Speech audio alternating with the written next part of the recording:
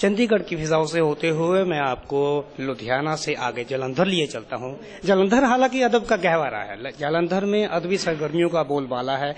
लोगों के दिलों में अदब है, रंग है, कल्चर है।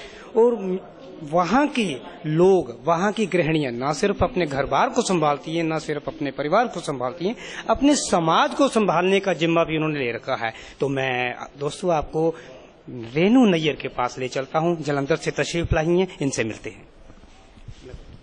सामीन आदाब। मैं जलंधर से हूँ रेनू नैयर। और उर्दू शायरी के साथ साथ पंजाबी शायरी में भी काम कर रही हूँ और मेरे को लगता है कि छः सात साल हो गए हैं और मुझे लगता है कि अभी सीखने को बहुत कुछ है। तो मैं आप सब दोस्तों के लिए एक दो शेर तरन्नुम में कभी कहा नहीं पर आप सबके लिए पहली बार। जी जी इनायत करें। जी। कि जहनो दिल में मेरे कई रोज ये घर करते हैं। जहनो दिल में मेरे कई रोज ये घर करते हैं।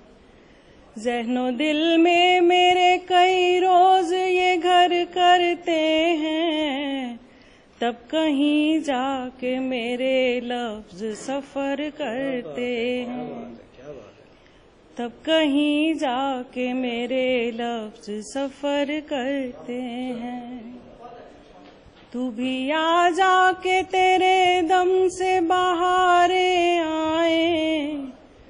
तू भी आ जाके तेरे दम से बहारे आए।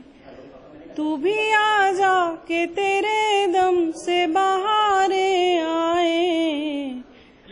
वरना हम यूँ तो खिजाओं में बसर करते हैं। वरना हम यूँ तो खिजाओं में बसर करते हैं। शुक्रिया।